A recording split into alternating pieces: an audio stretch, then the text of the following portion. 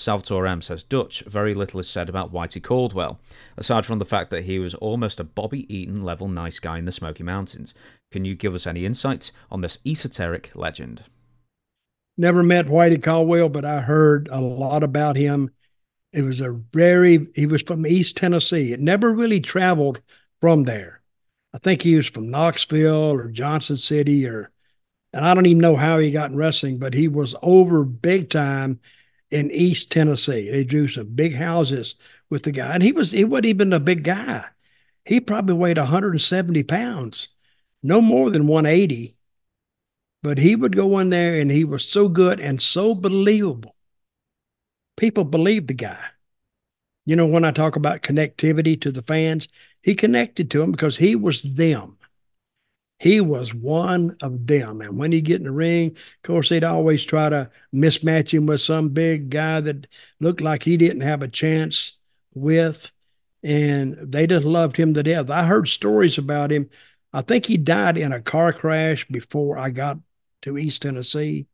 I think and I and I never met the guy, but he he drew some big big houses there. Yeah, you're absolutely right. Caldwell was killed in a car accident when a man was driving at high speed and was trying to pass cars when he hit Caldwell's in a curve. Uh, this what? was in 1972, October 7th. Oh yeah, yeah, long time before I got there. Yeah, uh, I was well, trying. No, I was trying to think. So uh, this is the Ron Wright five era. Years. Yeah, yeah, oh yeah, and the Wright brothers, they were over too.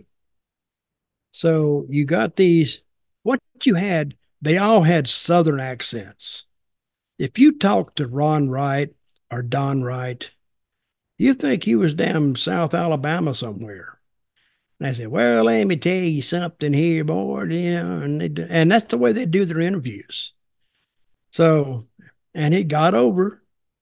And, you know, when they would have people come out and they finally turned babyface, they would have some northern heel and come out and tell them they were a bunch of damn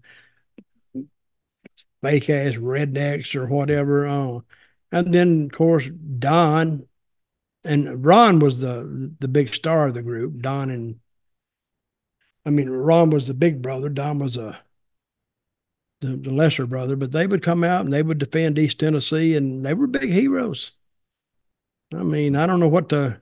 It was just punch and kick, is all it was they didn't really try to hurt their trade, but actually trying to do some wrestling. Mm-hmm. Hell, that'd kill them.